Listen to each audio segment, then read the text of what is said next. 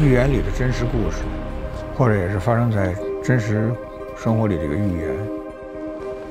要是有一天，人们能在白昼里看到夜晚的流星的时候，这片穷土才会被改变。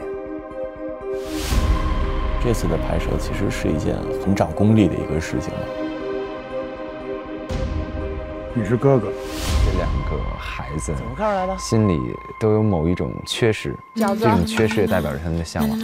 来的俩饿死鬼，让你给领出来。哎，这回像个人样了啊！李叔对我们说，天亮的时候会来几个尊贵的客人，是什么客人？和你们一样，回乡的人。说凯歌呢，还保持着一个特别好的一个创作状态。整个的规模把它给做了。大家说这个田老师在这戏里演的好不好？好。天空土地人来了。我们能有这样的荣幸啊，用真的航天员来参与我们的拍摄，这我们很光荣。我们会全力以赴支持，配合。谢谢谢谢。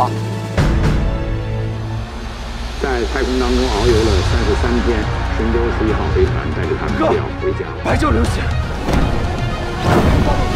点火，倒计时。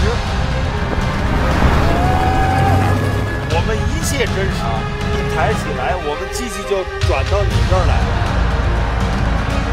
有一种特别的神。圣感。